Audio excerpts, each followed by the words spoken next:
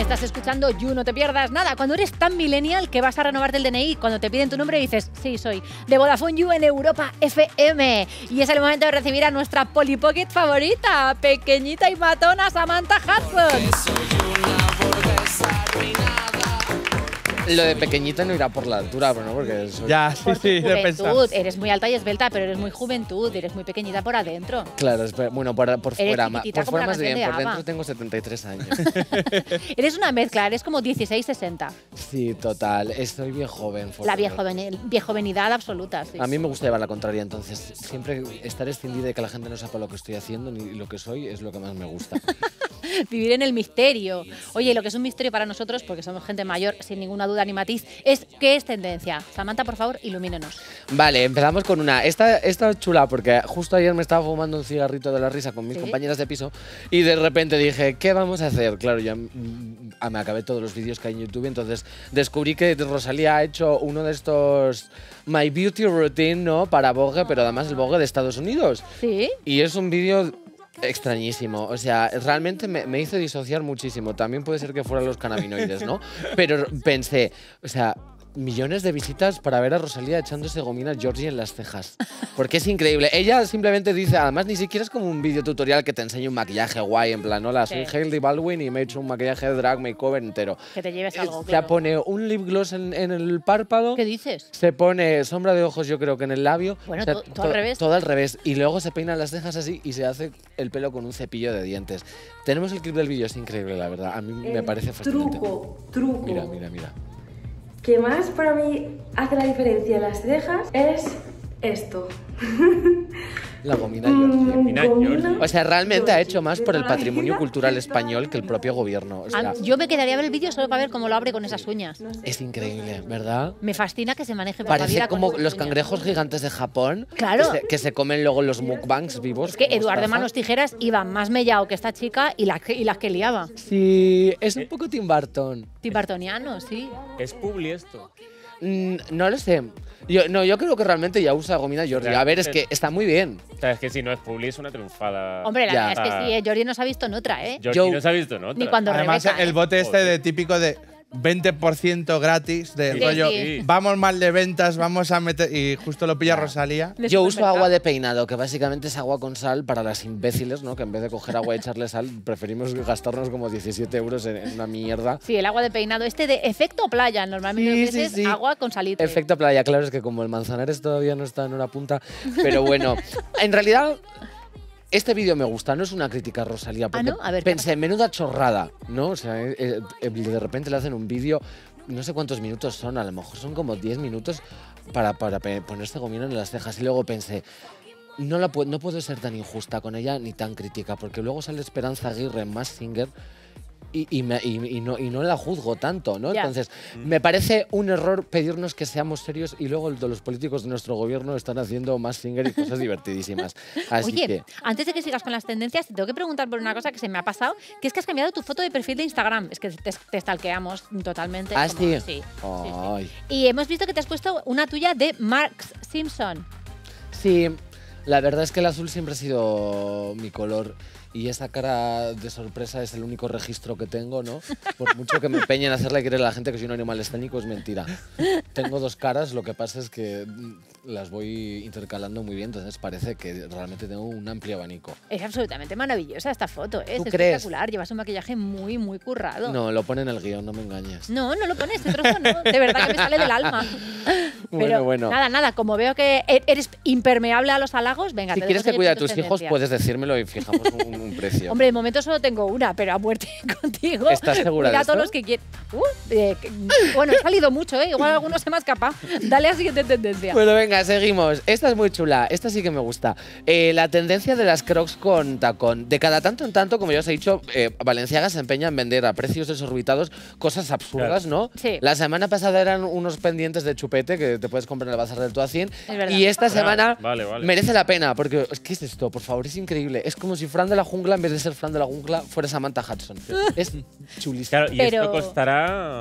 Miles Muchísimo de euros. dinero. Pero para que os Muchísimo hagáis dinero. una idea en la radio, es como si coges unas crocs y le pones una de esas patas de Ikea que venden sueltas para las Sí, mesas, Sí. Sí. que las puedes enroscar. Es exactamente esto. O sea, no hay ninguna sutileza. Claro, pero es, es increíble, sirve para muchos registros. Lo, lo mismo vas como a, a recoger moluscos a unas rocas que luego te vas a un bautizo. A mí personalmente me gustan. Con los moluscos en una bolsa, ¿no? De regalo. Sí, claro, hombre, para el catering, ¿no? Siempre hay que llevar un regalito.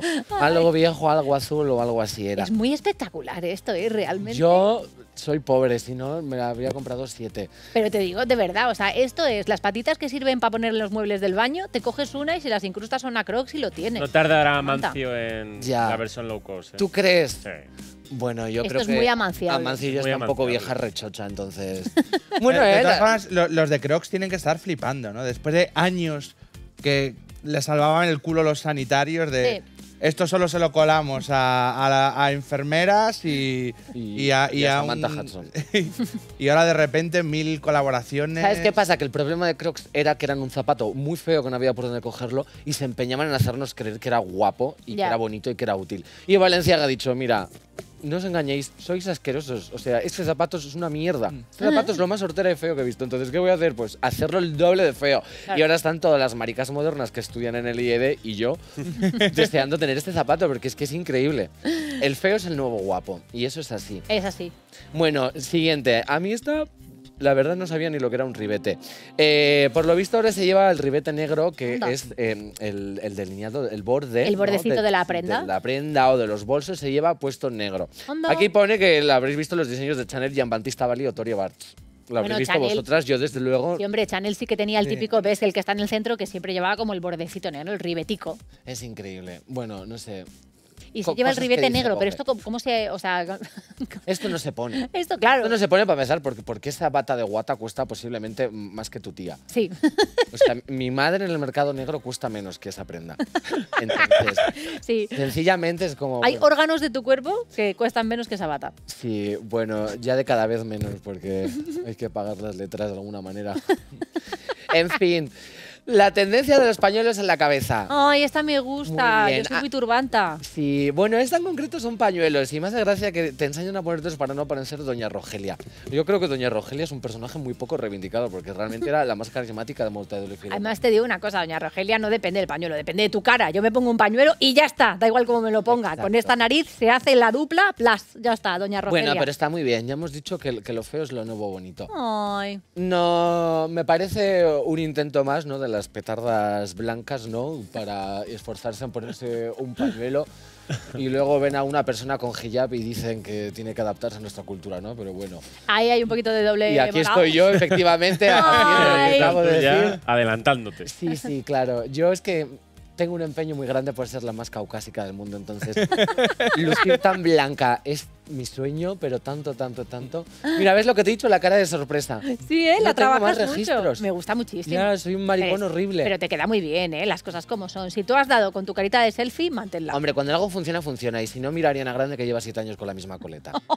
Entonces, Es verdad. Y, y le va súper bien. Yo no soy millonaria como ella, ni tengo una horda de maricones de 30 años, pero, Pero tú sigues sorprendiéndote que ya llegará ese dinerito. ya llegará, ya llegará el día en que mi etnia sea muy confusa y no sepas si soy filipina o negra. bueno, la tendencia del baby blue. Esta me gusta porque mm, siempre saco tendencias de Vogue. Que ni fu ni fa, ¿no? Pero esta es del diario vasco. Toma. O sea, por Ostras, favor. El diario vasco. Claro, Euskal, Euskal, Herria eh, en, en vanguardia en la moda, es que es increíble. El color tendencia del momento, baby blue. Ay. Qué monos. El o sea, azul País bebé. Vasco son tan monos. A mí es que no hay nada más que me guste un vasco. Un vasco es lo que más me puede gustar del mundo. Qué bonito, por bueno, a mí mm, el ni el baby blue ni el baby pink me gusta. Para mí el color definitivo es el amarillo cheesecake, que es este color cuando todavía no sabes el sexo de tu bebé, entonces no has determinado su género sin su consentimiento y dices, un color neutro, ¿de qué color pinto su cuarto? Ni rosa ni azul, porque claro, si lo pinto rosa, luego a lo mejor el niño crece siendo un maricón pintado, ¿no? Y atormentado porque lleva un color de niña. Y si le pongo azul, a lo mejor sale marimacho y me pide un camión o yo qué sé, un gormiti por Navidades. Entonces dices, amarillo cheesecake. Y le pintas el, cu- el cuarto de color amarillo, que es como un color neutro. Y que, y sí, que sí, relaja, es ¿verdad? que mucho jaja Relaja con este tema, pero tú no sabes lo difícil que es encontrar ropa de bebé en general y que no sea bebé niño o bebé niña. Nada. Que yo cada vez que no he visto a mi hija de rosa dicen qué niño más mono. automáticamente. Ya, Cosa ya. que me da igual porque es un bebé Parece y que ya lo nos único que hemos tiene que de ocuparse es de esto, no cagarse pero- encima, pero... Pero tela marinera. Smallford. Yo Para- siempre digo lo mismo. Ropa de bebé, A, cómoda. B, si es posible que tenga orejas de oso. Todo lo demás da exactamente igual. Exacto. Tú la Claro. próxima vez lo pintas amarillo y que el niño crezca como si se hubiera tomado un ácido. De momento es un bebé. ¿Qué necesidad tengo yo de, de- de- de- de saber por dónde va a tirar? De Claro momento que es un sí. bebé, pero en un futuro será un hippie. Así que mucho cuidado. Muchísimas gracias, Samantha Hudson. Seguimos con esas tendencias.